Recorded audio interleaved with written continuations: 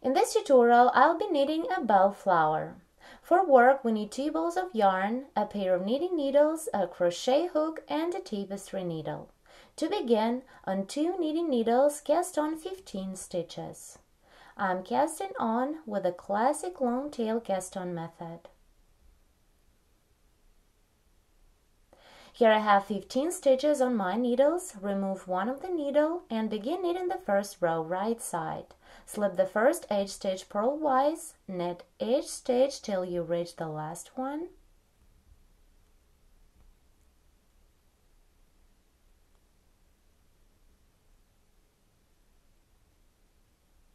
And purl the last edge stitch. Turn to the wrong side, row 2. Slip the first stitch purlwise and purl each stitch across the row.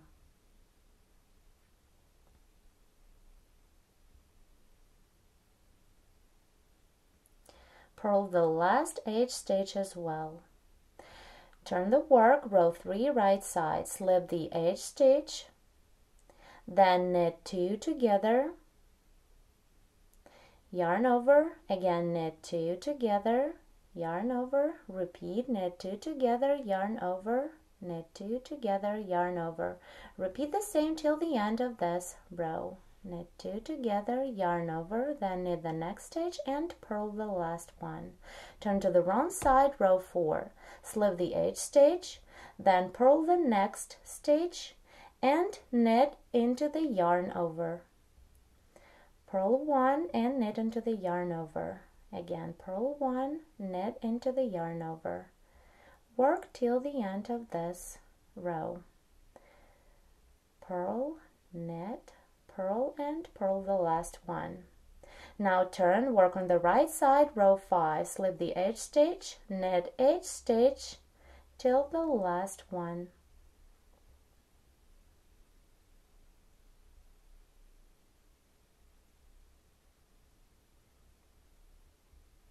and purl the last stitch. Turn to the wrong side to continue with row 6. Slip the edge stitch and purl each stitch across.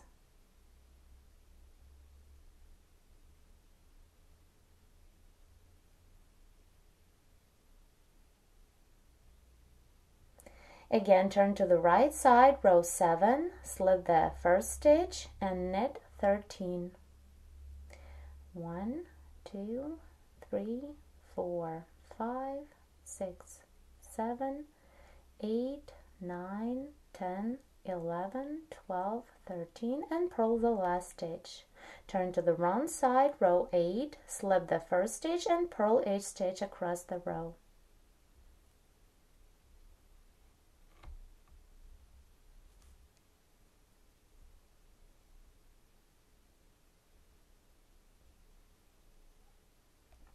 Now turn to the right side, work row 9. Slip the edge stitch purlwise. Then insert the needle into the space that is below the first yarn over. Take the working yarn and pull it through this hole.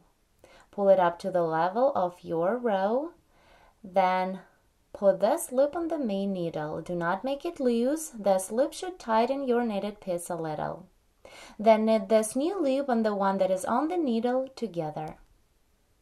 Then repeat again, insert the needle into the same hole, pull up a loop through, and knit this loop and the one that is on the needle together.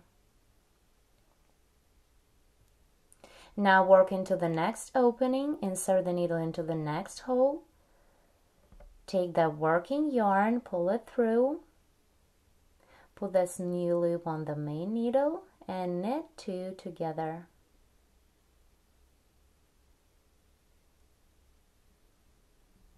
Repeat one more time, working into the same opening. Pull up a loop through, put this loop on the main needle and knit two together.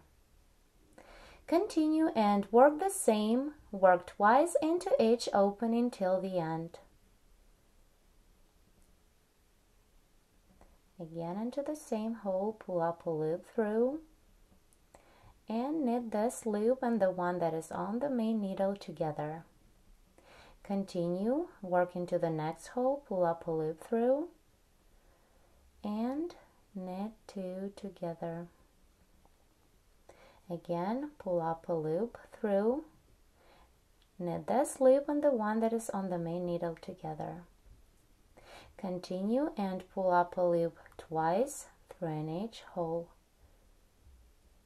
Knit two together. Again pull up a loop through the same hole.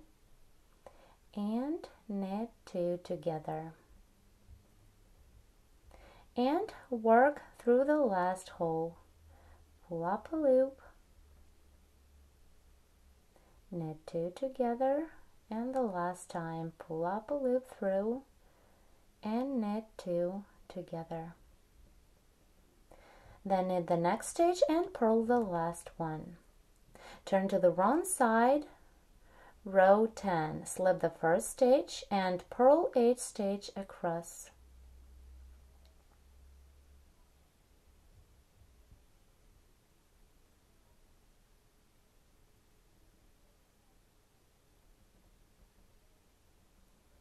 Purl the last stitch as well turn to the right side row 11 slip the first stitch purlwise knit each stitch till the last one.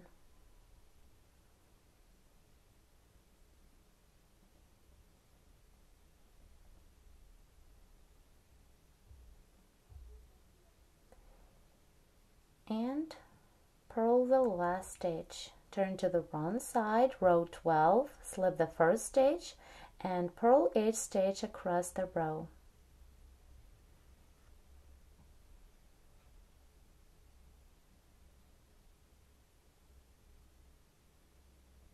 The last one. Turn to the right side row 13 slip the first stitch knit each stitch till the last one and purl the last stitch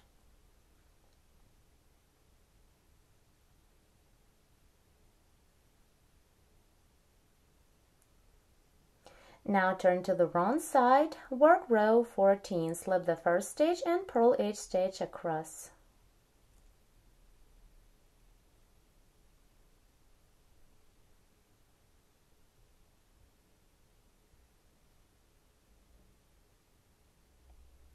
Now turn to the right, work row 15.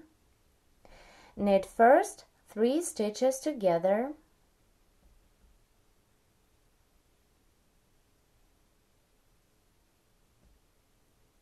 then continue knit 3 together and work the same till the end. Work by knitting 3 together.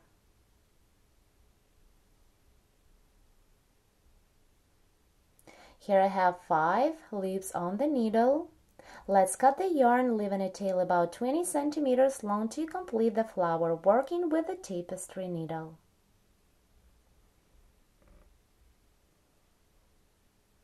Here I thread the yarn tail into the yarn needle. Now with the yarn needle, pick up each stitch on the knitting needle.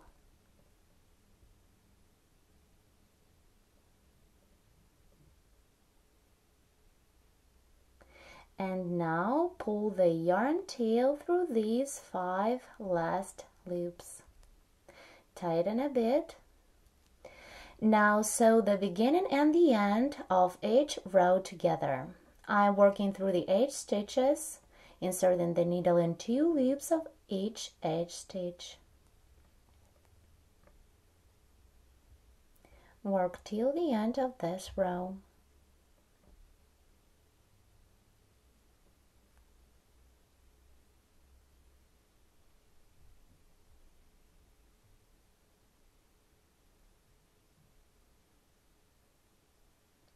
Insert the needle in two loops of each edge stitch. And the last stitch. Here I'll do one more stitch to secure. Here as you can see I've finished the body of my bell flower. Now let's continue and crochet stamens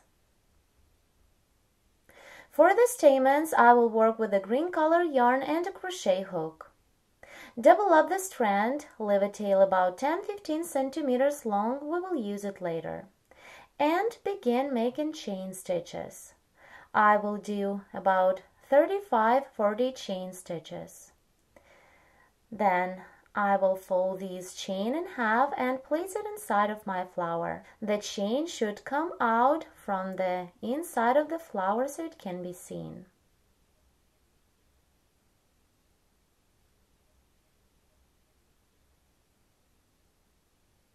Here I think the chain is long enough. Let's try it on. Place it inside like this. So this crochet chain works as stamens. I will chain five more just to make it a little longer. One two three four five and now you can cut the yarn. Here is my chain I fold it in half. And now from the inside I pull all these tails of the stamens through the little hole that I have on the top of my flower I'm doing it with a crochet hook. All tails are out now. And to fix this center in place again I'm going to work with a crochet hook. I'll do a couple of stitches insert the hook through any strand on a flower and pull the tails through then chain one and single crochet.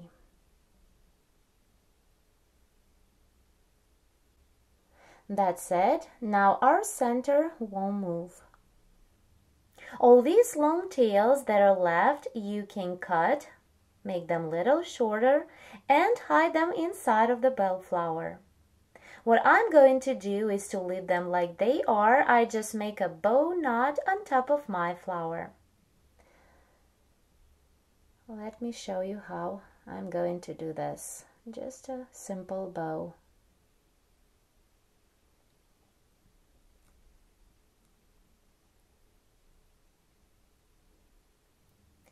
Now my knitted bellflower is completely ready. Thank you so much for watching and please make sure to subscribe to our channel for more free tutorials.